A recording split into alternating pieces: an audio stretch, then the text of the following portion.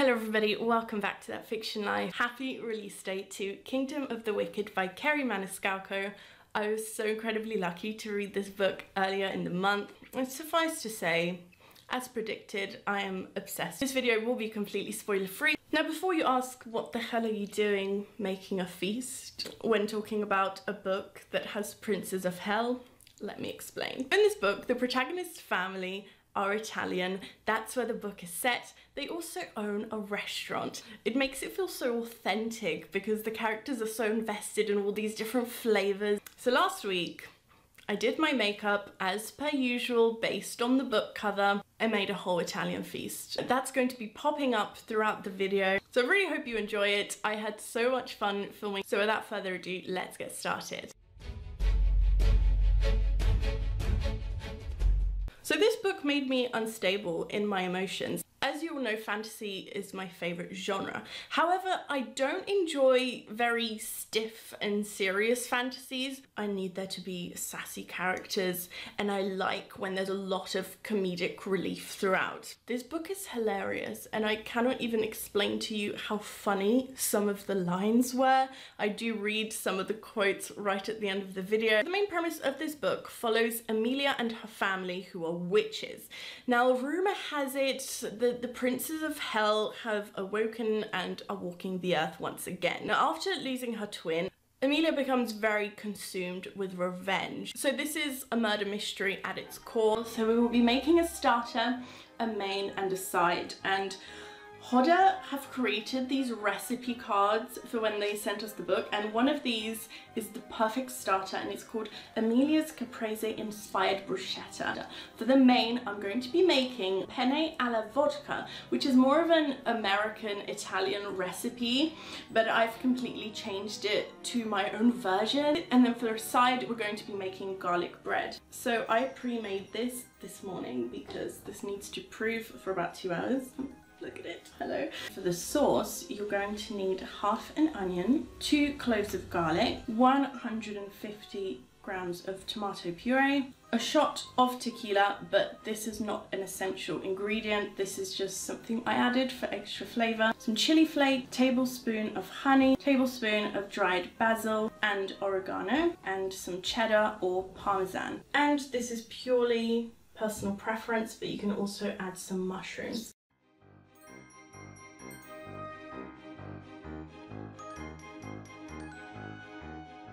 I forgot about taquitos. Now, the Italian setting made this book so atmospheric. The last book that I read that's set in Italy is the Arcadia Awakened series by Kai Meyer, one of my favorite books of all time because like in Kingdom of the Wicked, the places were so visually beautiful and it felt like you're right there in the moment. I would say this book downright reads like a high fantasy, which is so hard to do in a contemporary setting. Now this book is dark as hell. It downright crosses into adult fantasy at times, which is my favourite part because it really crosses lines and some of the scenes were horrifying. The characters were manipulative.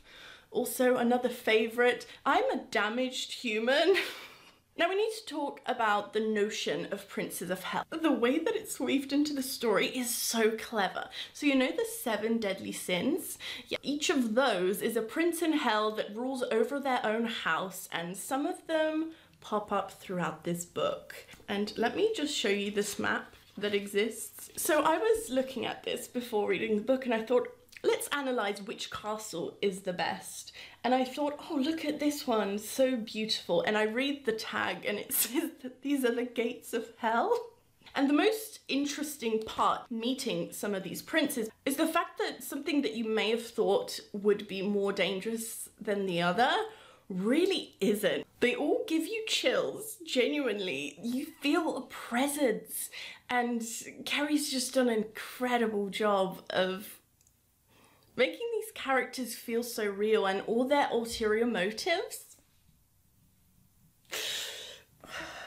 So my sauce is now ready for its final ingredient, which is the double cream. Add some grated cheddar into the sauce. Parmesan is ideal for this, but I just didn't happen to have any.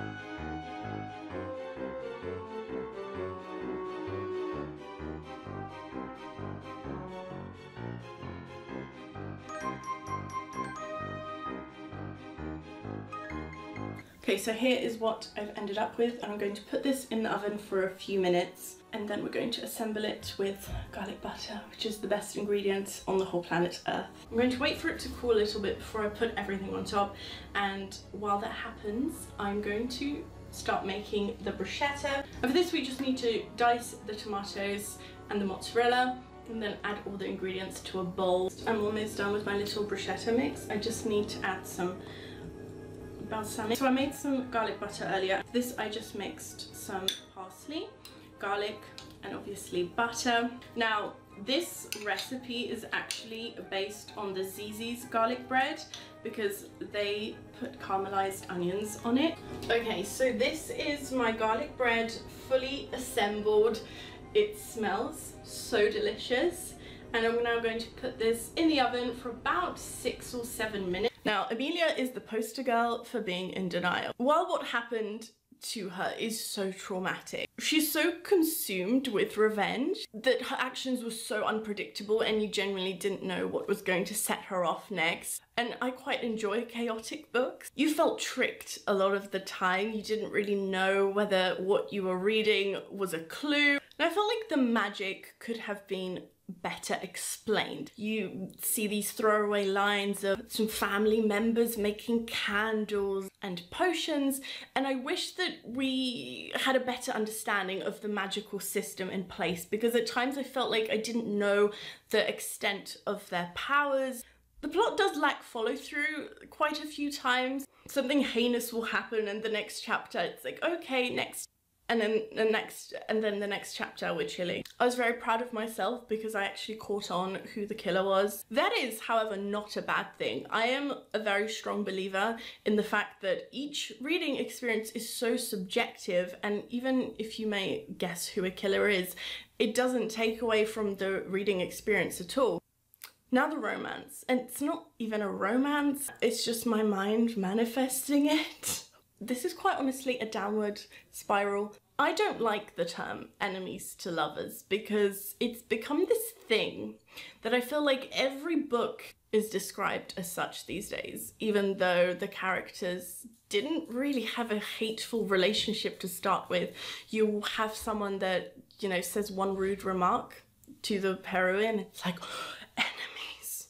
No. In this book, the hatred was real.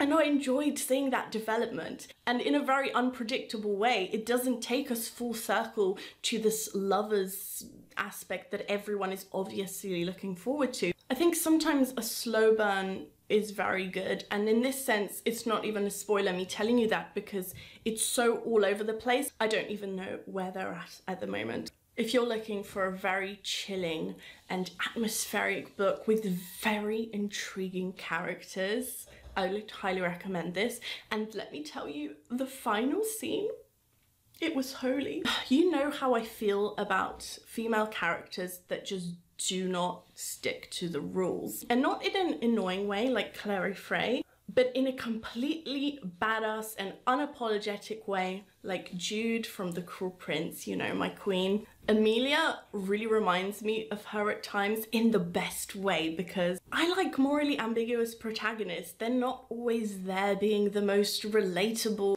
and pure characters. Because I think when you go through something like Emilia did, genuinely at the start of the book, losing such a huge part of yourself, meaning her sister in this instance, is not something that will leave you the same as you were before. And I think Kerri has done a really great way of showing us that character development and I cannot wait to see what happens in the sequel. So that is my completed meal. We have the pasta here, garlic bread and the bruschetta starter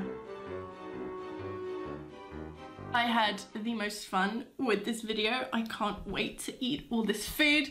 But before I do, as promised, we are going over some of the quotes because some of these just gave me a heart attack and I genuinely didn't know what to do with myself. Mild spoiler warning in terms of quotes, but you won't really understand what's going on. So the first one that broke my soul is, you know, the two characters have had some angsty moments and something happens and says, live long enough to hate me for this.